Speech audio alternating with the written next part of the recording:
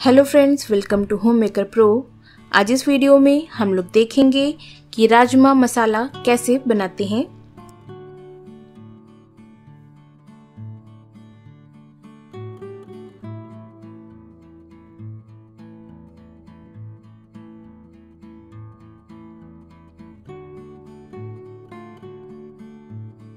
राजमा बनाने के लिए हमें राजमा को भिगोना पड़ता है। राजमा को मैंने पानी में रात भर भीगने के लिए छोड़ दिया था। राजमा को कम से कम चार पाँच घंटे भीगने के लिए चाहिए होते हैं। राजमा अच्छे से भीग चुके हैं। अब हम उसका पानी निकाल देंगे और एक प्रेशर कुकर में भीगे हुए राजमा को डालेंगे। अब हम इसमें पानी डालेंगे। पानी मैंने डेढ़ ग्लास डाला है। राजमा पानी से पूरी तरह से भीगा होना चाहिए। राजमा के ऊपर एक लेवल में पानी होना चाहिए।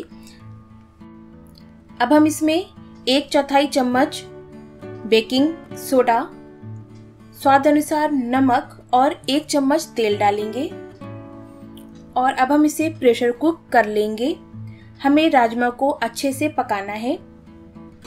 हम कम से कम चार से पाँच सीटी होने तक राजमा को पकने देंगे।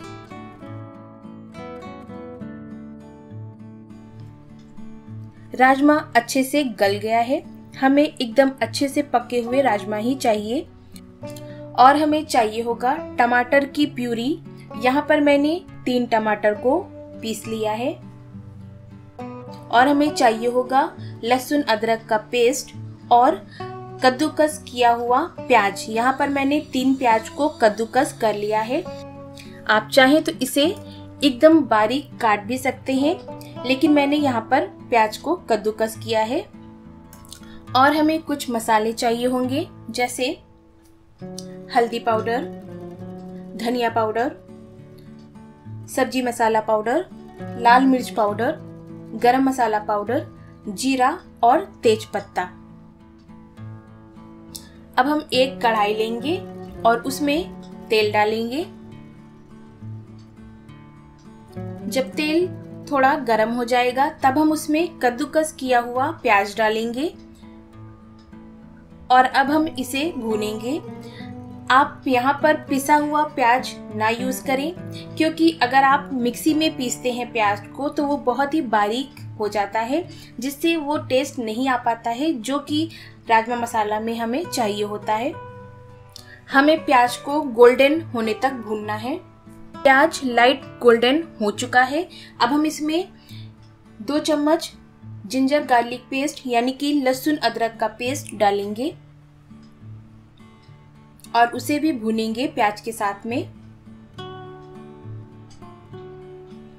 अब हम इसमें अपने मसाले डालेंगे, जैसे लाल मिर्च पाउडर, हल्दी पाउडर, धनिया पाउडर, सब्ज़ी मसाला पाउडर तेज पत्ता और जीरा।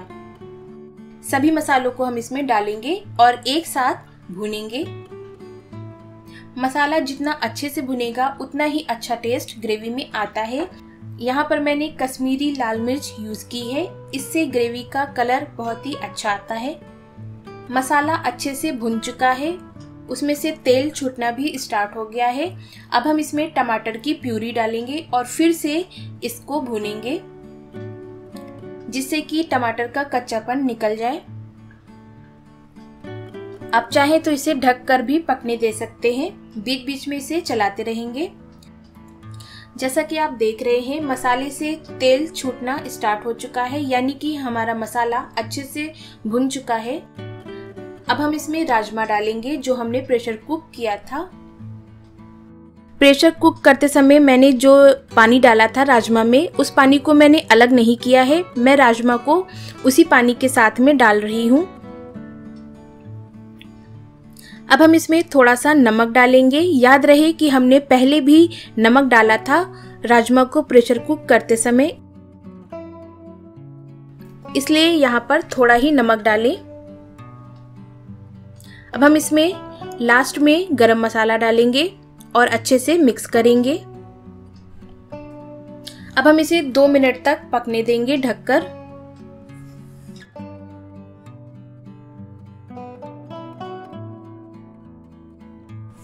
अब हम खोलकर देख लेते हैं।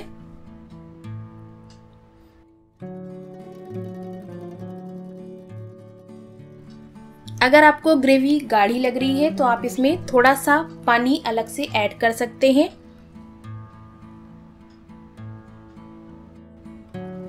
राजमा मसाला बनकर तैयार है। राजमा मसाला को चावल के साथ, जीरा राइस के साथ, रोटी के साथ, पराठों या पूड़ी के साथ भी खाया जा सकता है।